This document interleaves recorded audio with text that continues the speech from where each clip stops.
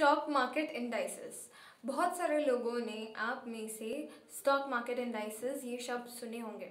But what are basically stock market indices आज इस video में हम उसी के बारे में जानेंगे।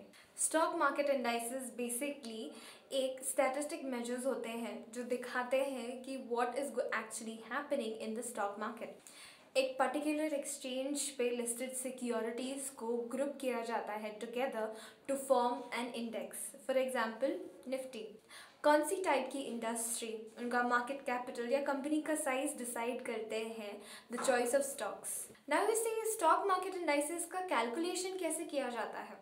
It is very simple the value of the stock indices is calculated on the basis of the values of underlying stocks. आप में से कई सारे लोगों ने ये नोटिस किया होगा।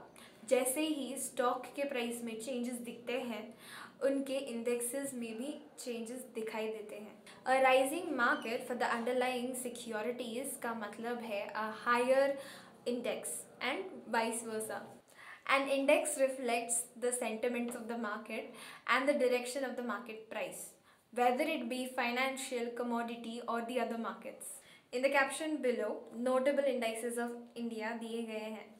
Read the caption for more information